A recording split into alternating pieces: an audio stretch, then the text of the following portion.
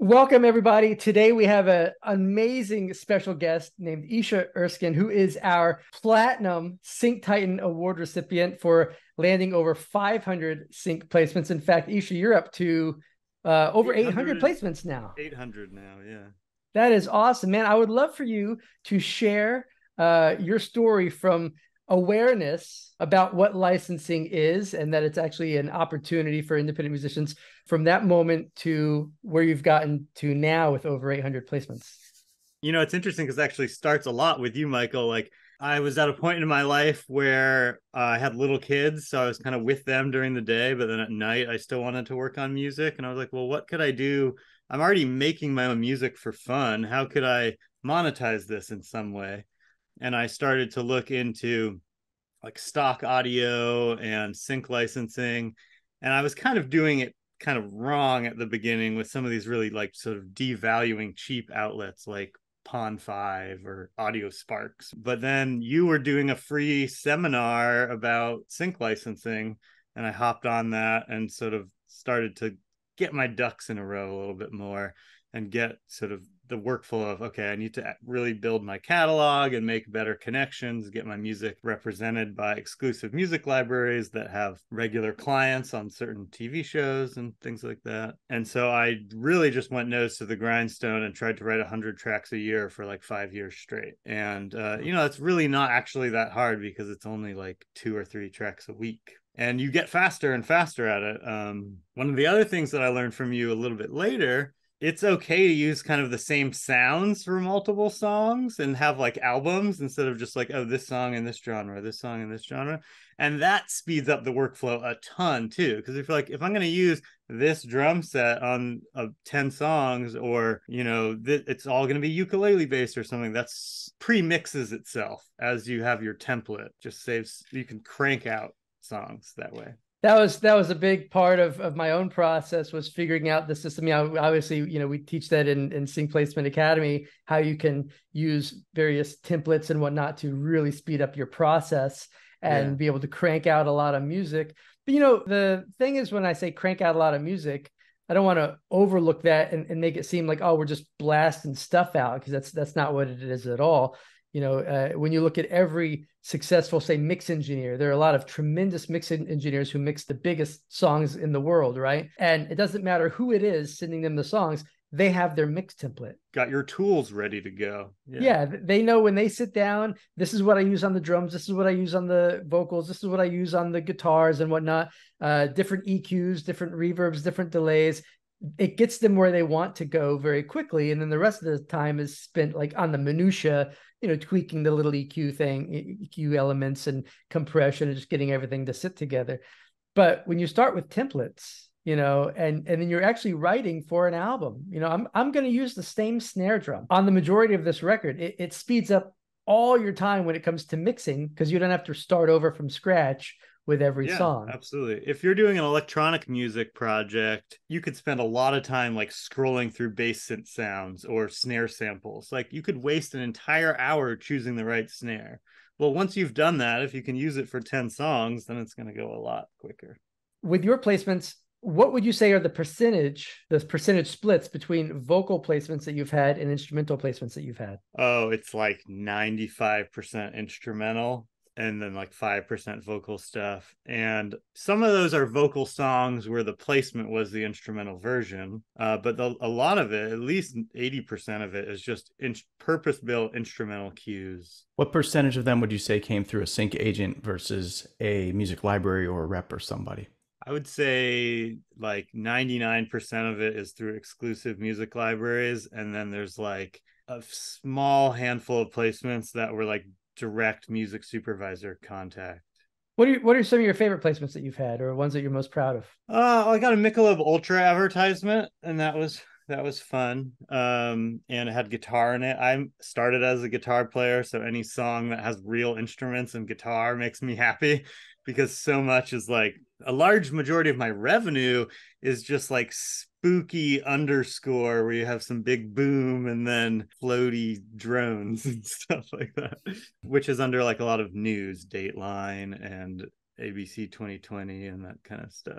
Yeah. That's a great that's a great uh, thing to talk about because you know when people think of sync licensing, they immediately think of that big placement on a big show like Grey's Anatomy, whereas when you really listen to TV, there's music on everything, all the ins and outs for the news shows and the news packages and whatnot, and that's tremendous revenue stream. Yeah, and that's been most of my revenue stream. Like I would love to get some bigger high dollar ad placements or like I had some vocal songs that were sort of featured in a movie with like a dance scene and stuff like that. But the large majority of the revenue is just tons of small instrumental placements that add up. You got to follow the dream. I mean, follow the green.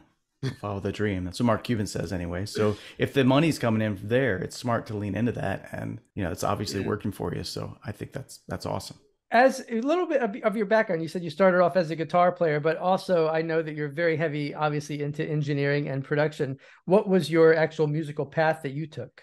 Uh, started as a guitar player and vocalist in a punk rock band and wanted to record my own music. And then I started recording all the local bands around. Went to college for um, music composition. So I got all my like music theory chops, which have become super helpful with sync licensing when you're like trying to call on an emotion and you know like sort of what mode or scale to use. Um, and then i went to a recording trade school called the conservatory of recording arts out in arizona. They require you to do an internship to graduate. So i went to los angeles and sort of did that typical engineer path where you get people coffee and scrub toilets and wrap cables and slowly work your up to assistant engineer where you set everything up and then you start actually recording and producing artists and so that path and then i wanted to kind of get out of the city because it was really not where i wanted to be and i moved north to have kids and have a farm and focus more on like sync licensing and independent artists. Yeah i love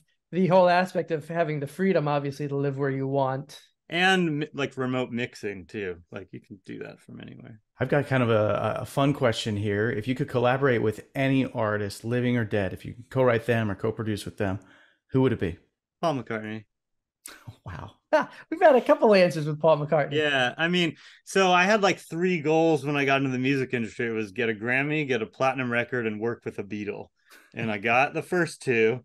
And I did get a song that was placed in a John Lennon documentary, and I'll call that kind of working with the Beatles.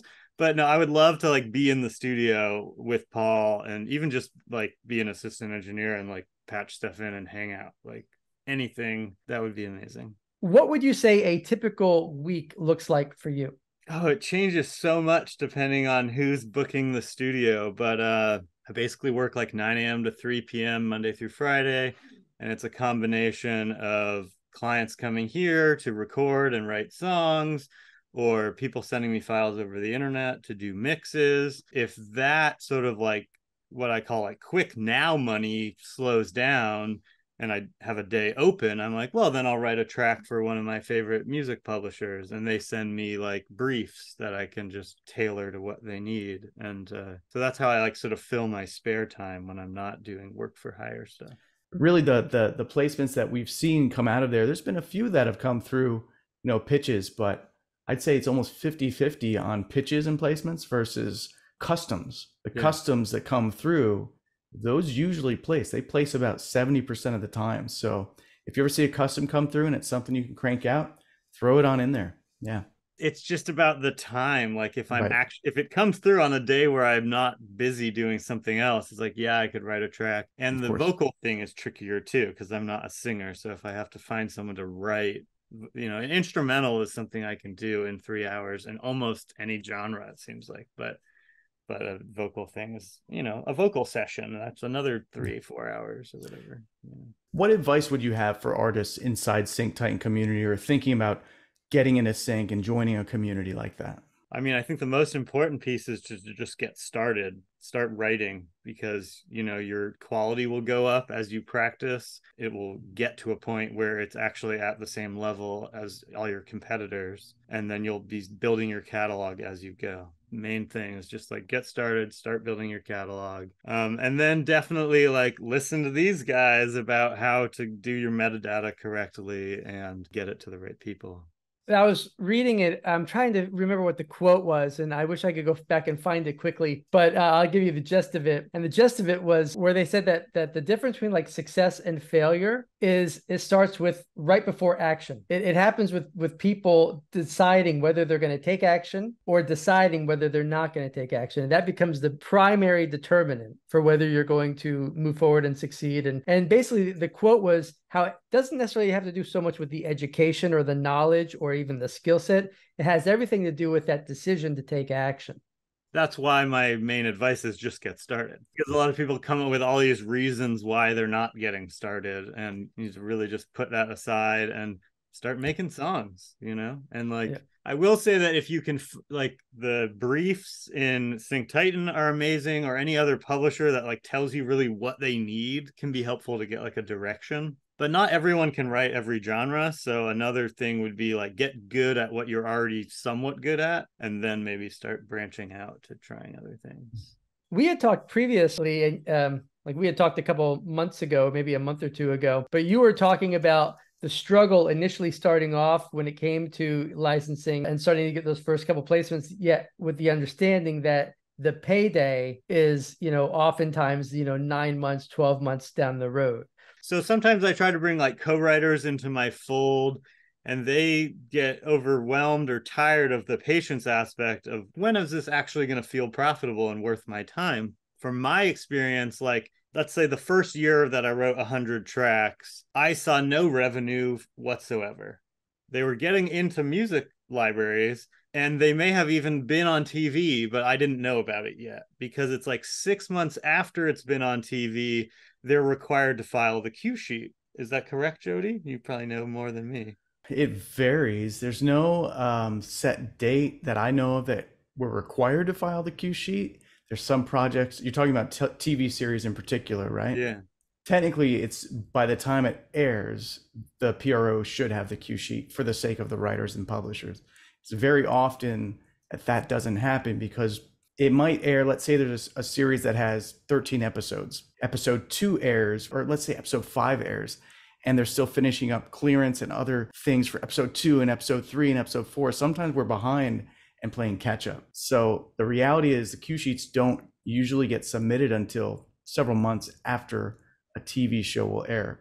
I yeah. hadn't seen it where it was like six months nine months later the cue sheet gets submitted it's usually earlier than that i'd say anywhere from two to four months at the most.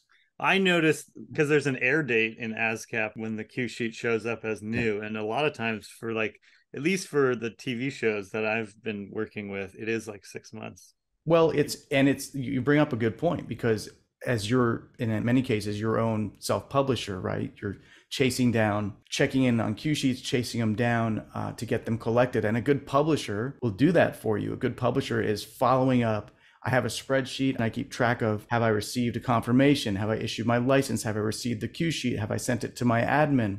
You've got yeah. to keep organized like that and keep track of it because somewhere along the way, someone could always drop the ball, whether it's the supervisor, the, sometimes the producer is responsible for submitting a cue sheet and they've never done that before. Yeah. music coordinator might not do it in time.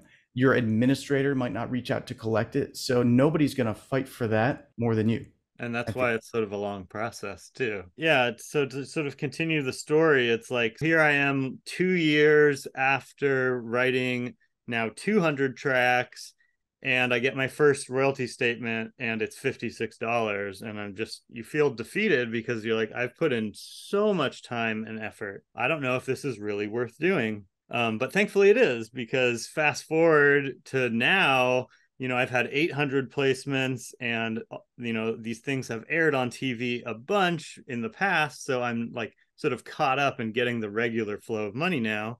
So the fact that I'm still getting paid for work I did years ago is amazing. Um, it's like a retirement plan. And like that will even, as these things continue reruns and re airing, it'll go to my estate and I'll be able to pass those royalties on to my children. So I just think sync licensing is amazing. And it's really like the last vestige of uh, a way to make money in the music industry because CD sales and streaming are just such a small way to, or, you know, they, the return is so small. Yeah, to to make any any significant amount of money from CD sales, you have to look at that as a full-time job and just be pushing your songs and pushing those sales on a constant basis where with you as you were sharing earlier, the typical week you're mostly working with clients you know, yeah, I and, don't and have mixing. time to be a full time pitcher, which is also why I'm really happy that my music is represented by exclusive exclusive music libraries because they're working my catalog, even though I don't have time to be working my catalog. Let, let's let's talk about that for a moment. Finding an exclusive library to work for you. I think a, a, lot of artists who start out, producers starting out, just getting into it, maybe even two years in, they're at that point you just mentioned where they're a little struggling, but they know they want to do this and they have that resilience and they just throw their music into any exclusive library that'll take them on. What are your thoughts about that? Like my journey with that was that I cast a bit of a wider net at the beginning. And then when I saw which companies were really working my catalog, I dedicated more time and energy for writing for them. So, you know, I do have some music that's sort of like locked away that is not really earning money. And that's something to be aware of. Maybe look out for exclusive in perpetuity deals unless you're like so confident that they're really going to do well for you, you might want to try to make sure you have an end term so you can move your music out of that catalog if after a few years they don't earn you any revenue. Um, and then the other side of that is like, you know, finding a catalog that represents a style of music that you're good at. And, you know, a way to do that is sort of like just research IMDb research, credit research at the end of a program who provided the music it's really nice on ASCAP. Once you do get cue sheets, you can see, oh, what are all the other publishers that are getting music on the same show? Maybe I should consider submitting to them. So that's a really helpful resource. But these companies are really busy, and their main goal is pitching the music that they already have as opposed to like looking for, I mean, they need new music it's the second priority. Their main goal is providing music, excuse me, to their clients. So you will get a lot of non-responses and so like be prepared that like if you submit to 20 companies, you might only hear back from 3 of them and two of those could be no's, but at least you got one. So that can be very discouraging, um, but I think it is worth the effort in the long run. When it came to you connecting with the companies that you work with, what was your big aha moment? Was it do the research that you did on the back end before you reached out to them was it getting on the phone and talking to them or having email conversations what was for you the big uh, uh, game changer for connecting with those companies well it was very helpful that in my like subject line i can write like music from multi-platinum grammy winning producer that's helpful for me and not everybody can do that I think it was also really helpful for me to, as I was writing those first hundred songs, they really did start to get better. And by year two, the songs got even better. So like you're the music that you're making is better. Then you can create a new like updated reel of your best things. And some of the libraries that I was going for, instead of like being like, I have this album for you, I was trying to show them I'm very versatile. Look at all these different genres that I can do that work for your clients. And so sort of making a really good playlist of my best my best work. So you were you were approaching them with full albums worth of material.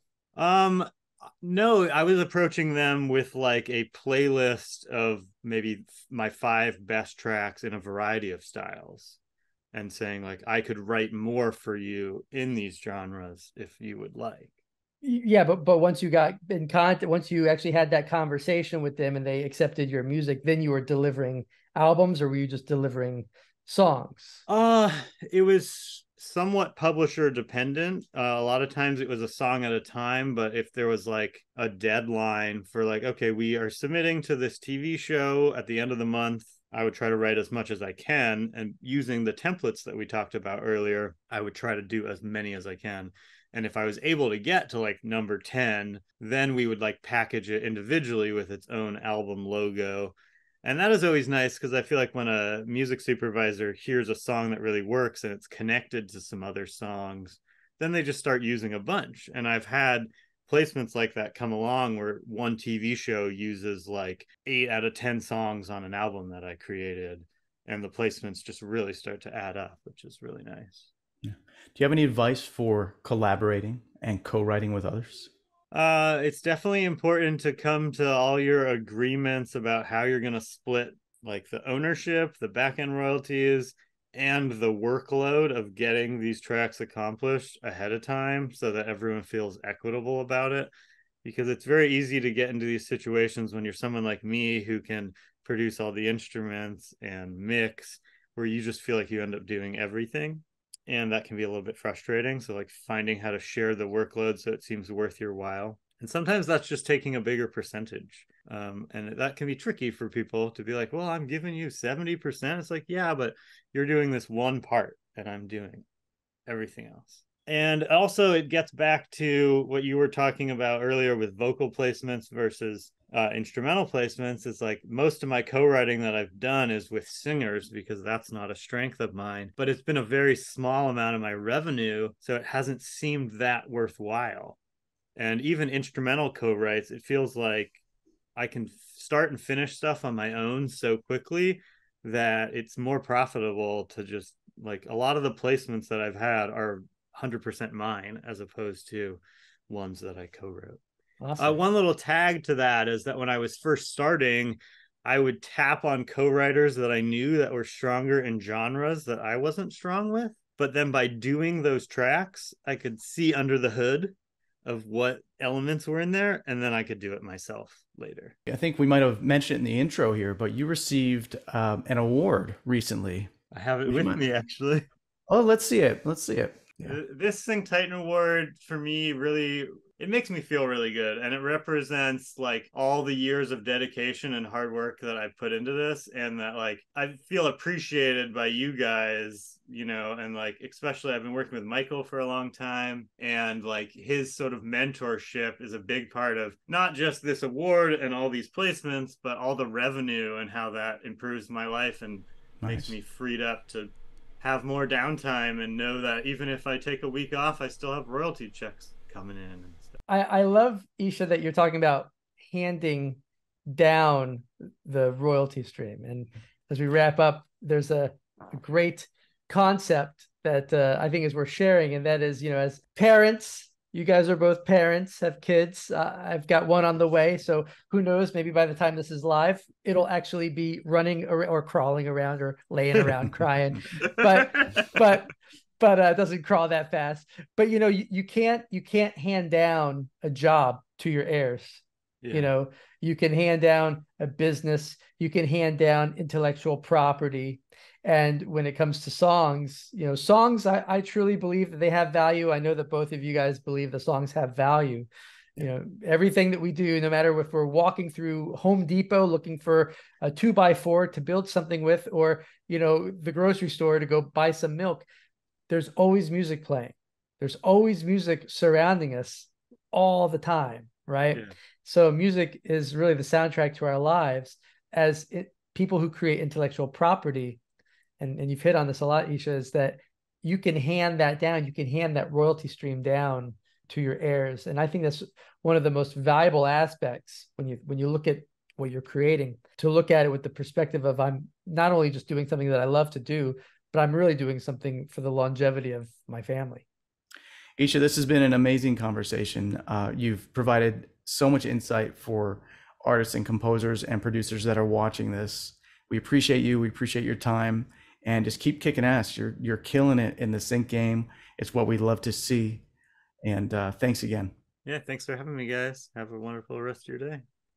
If you would like to join a thriving community of elite sync professionals dedicated to ensuring each other's success in sync licensing, then Elite Music Coaching invites you to join Sync Titan.